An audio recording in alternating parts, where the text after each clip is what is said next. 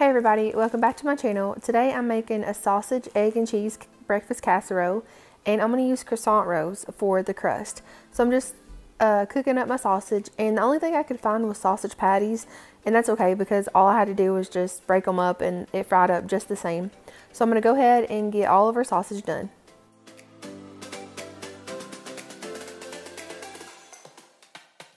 And once it is completely cooked, I'm just taking it out of the pan, draining the grease, and I'm just going to put it in a separate bowl.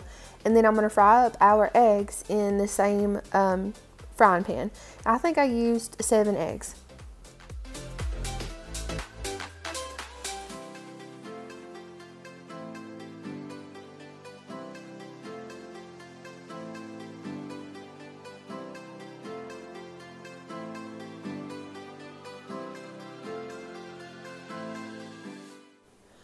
So I've already sprayed my baking dish. This is a 9x13 with um, non-stick cooking spray and I'm adding my first can of croissants in the bottom for the bottom layer of crust.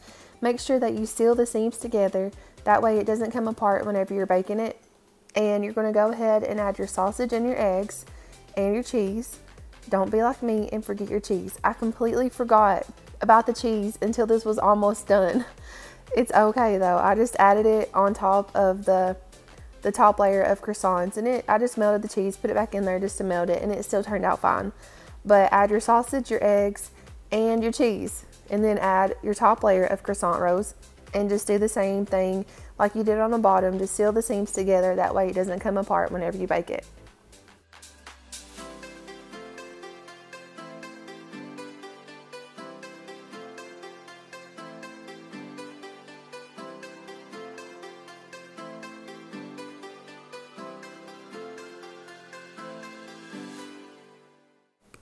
I'm going to put this in the oven at 375 degrees for about 12 to 14 minutes. Even though I forgot to add the cheese in the middle of the casserole, adding it on top of the crust like this, it still made it really delicious. I mean, it didn't change a thing about it. I still had everything right there, you know, the sausage, the egg, and the cheese, then the croissants. It was all right there together, so it did not alter the taste at all. It still turned out really good.